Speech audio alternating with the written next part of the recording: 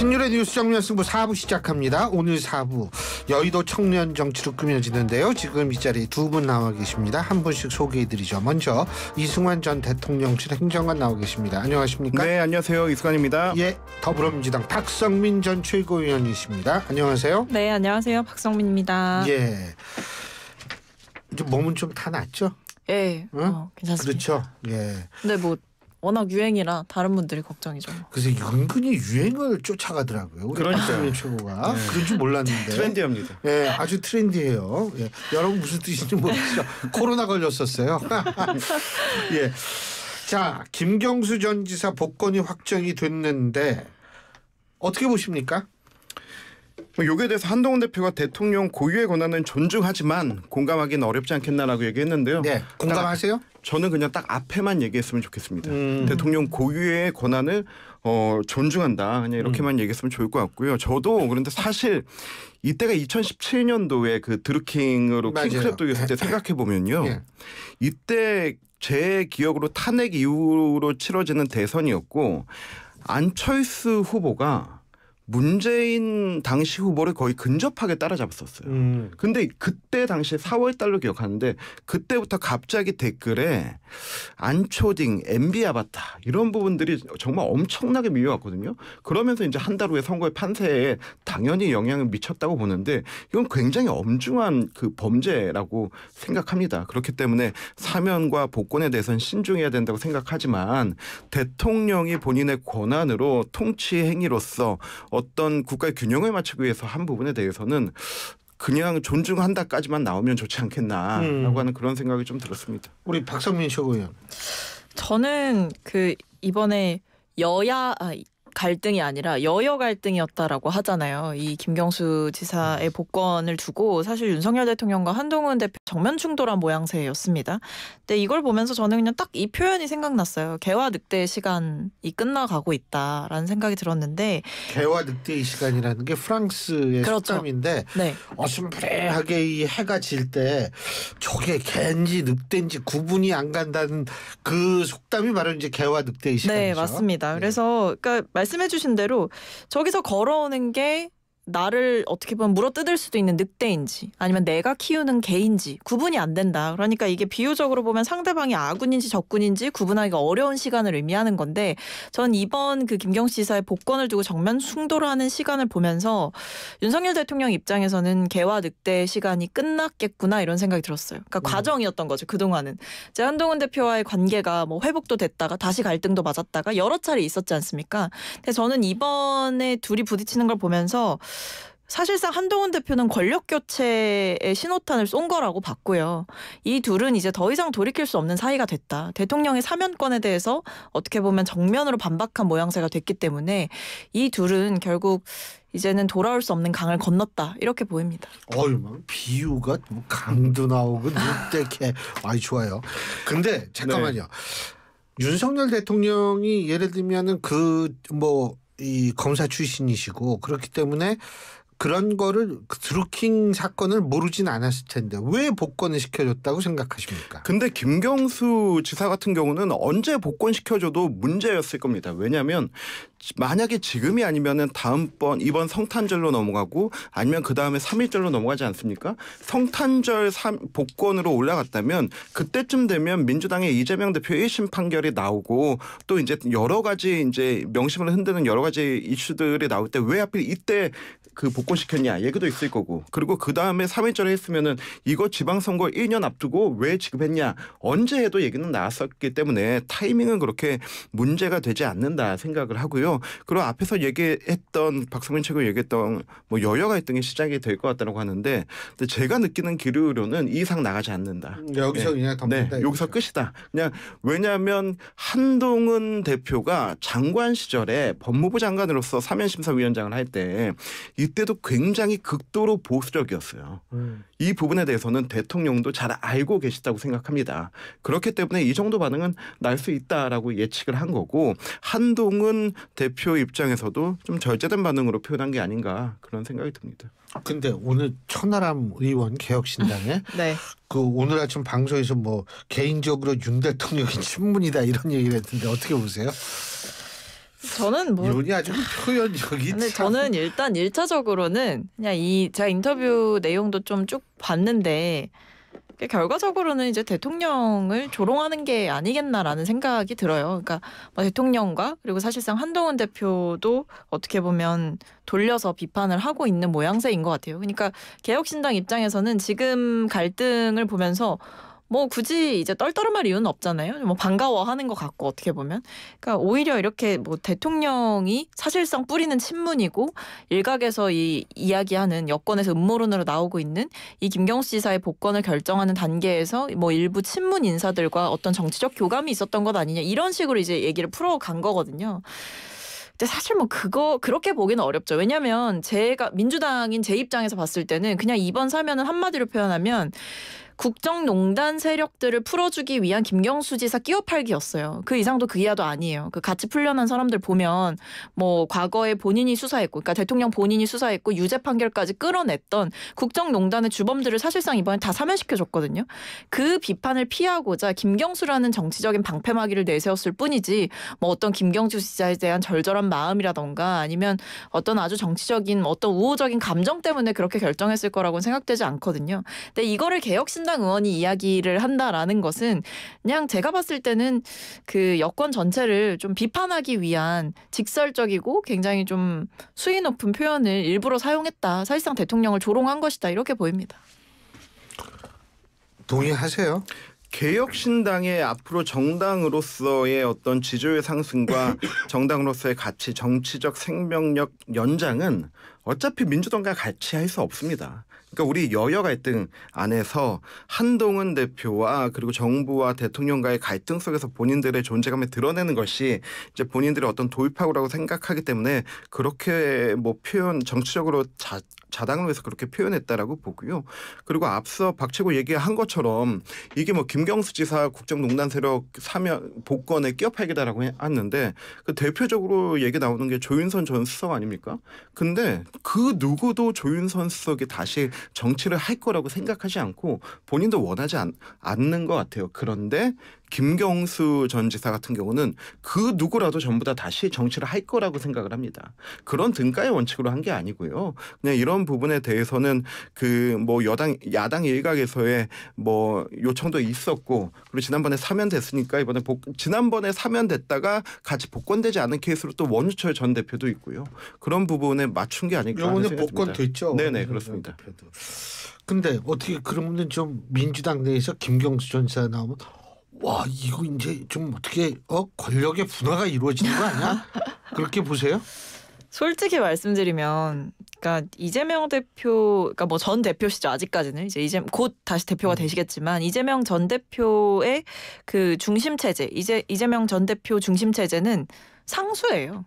전 당분간 이 권력 구도가 어떻게 좀 개편이 되거나 얼른 어떤 권력 구조 간의 지각 변동이 일어날 일은 당분간 없다. 왜냐하면 지금 우리가 전당대회 국면을 지켜보고 있지만 당원들의 이런 압도적인 지지를 이끌고 있고 심지어 직전 선거에서 이겼고 그 선거를 이, 이기도로 이끌었던 사람에 대해서 어떤 지각 변동을 일으킬 만한 외부적인 요인도 없고 내부적인 요인도 없는 상황인 거란 말이죠.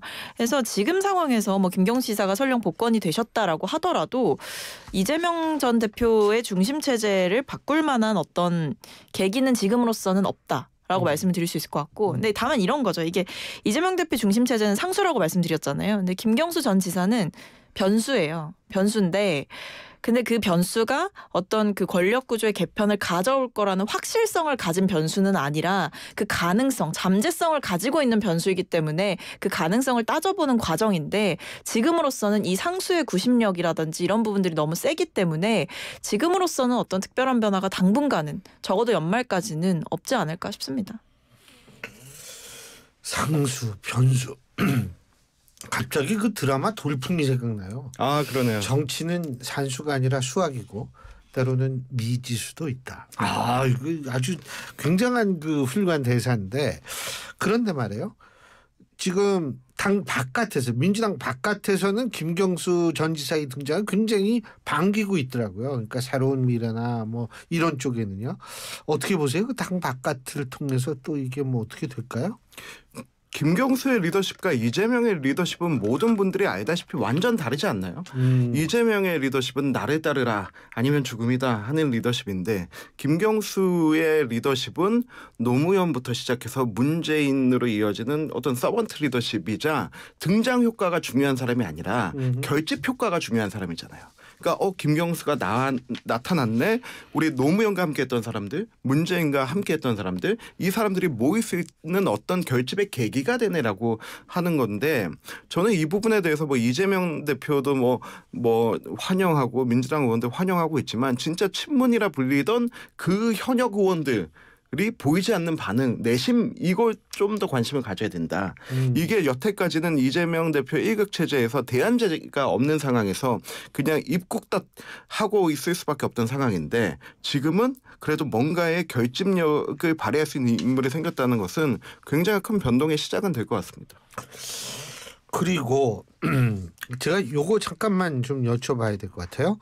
그 전현희 의원이 오늘 방통위에서 그 김건희 여사와 관련한 그 살인자라는 극단적인 표현까지 나오고 대통령실은 거기에 대해서 오히려 이 권- 국민 권익위의 그 고위 공무원을 죽음에 이르게 한 것은 민주당이다라는 입장을 또 얘기를 하고 있고 이게 막 이래요.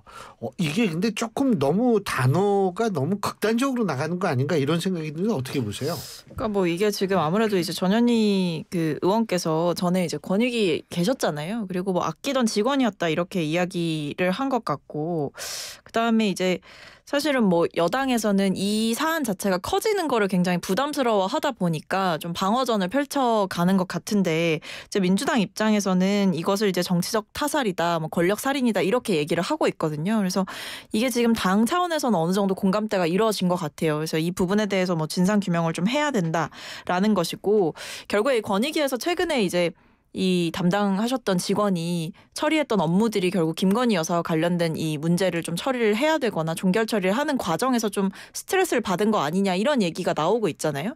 그러다 보니까 이 김 여사의 사건을 어떻게 보면 좀 마무리하는 데 있어서 어떤 뭐 압력이 있었던 것이 아니냐 내부적으로 그래서 이 직원의 심적 부담이 상당했을 것이다 그렇다고 한다면 어느 정도 원인 제공이 정치적으로 된 측면이 있다 이렇게 보고 있는 거죠.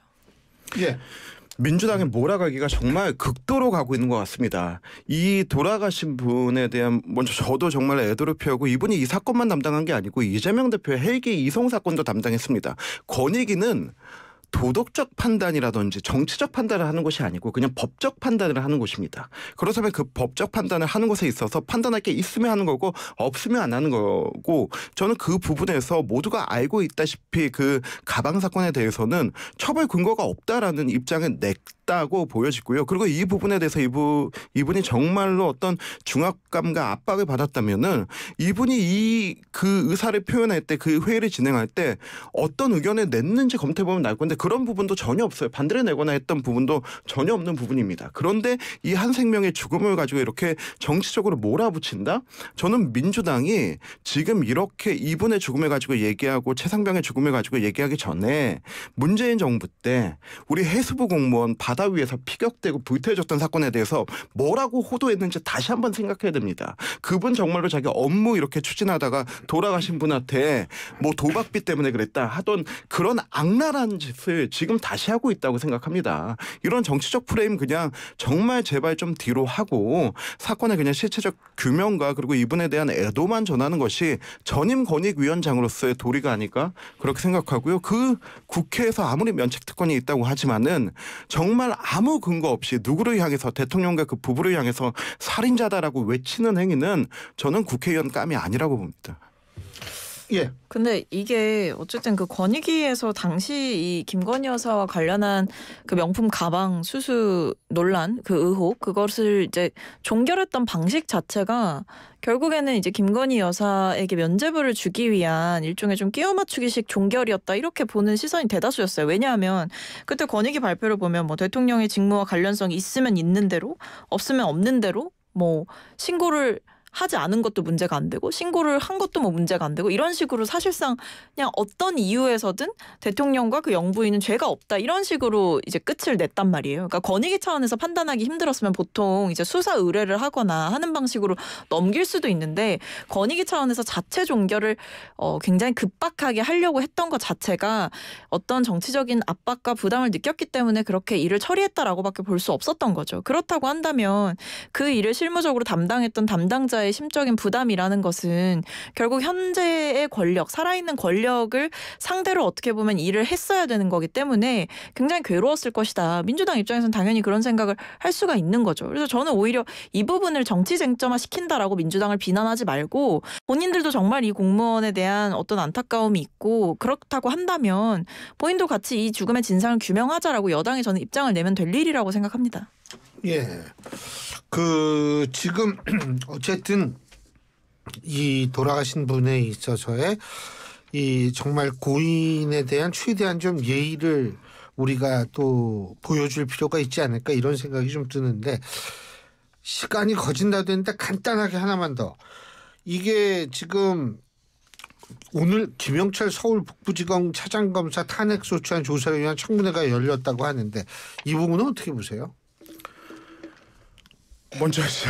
아, 근데 저는 이게 결국에 핵심 증인들이 뭐 계속해서 불출석하는 일들이 좀 벌어지고 있잖아요. 특히 뭐 대통령실 관련된 의혹이라든지 이런 부분들을 규명한다거나 했을 때 청문회를 열기만 하면 핵심 증인들은 다 안 나오고 이런 일들이 계속 반복되고 그리고 어떤 국회 차원에서 뭐 대통령실뿐만 권력형 어떤 문제뿐만 아니라 이런 뭐 검사들의 무소불위의 권력 네. 이런 부분들까지도 따져 물을 수가 있는 건데 여기에 대해서 불출석하고 청문회를 계속 맹탕 으로 예. 만드는 원인 제공자들은 저는 반성하셔야 된다고 생각합니다. 자, 저는 민주당에게 오십시오. 부탁하고 싶습니다. 예. 그냥 탄핵하십시오. 원래 그냥 탄핵한다고 하다가 국민 여론이 보기에 안 좋고 비난이 이렇게 오니까 이거 일단 청문조사 하겠다고 했잖아요. 그냥 탄핵하십시오. 그냥 음. 탄핵해서 이재명 대표와 관련된 사건들 다 중단시키고 한번 어, 헌재에서 재판 받아보십시오. 그렇게 해서 만약에 이것도 기각되고 각하된다면 민주당 책임지겠다고 선언하고 탄핵하시면 됩니다. 음. 아유, 요새 국회에는 참 청문회도 자주 열리긴 하는데 어떻게 되는지 한번 봅시다. 예. 두 분 말씀 오늘 여기까지 듣겠습니다. 고맙습니다. 감사합니다. 감사합니다. 예, 지금까지 이승환 전 대통령실 행정관 그리고 더불어민주당 박성민 전 최고위원 두 분과 함께했습니다. 오늘을 기록하는 소리. 내일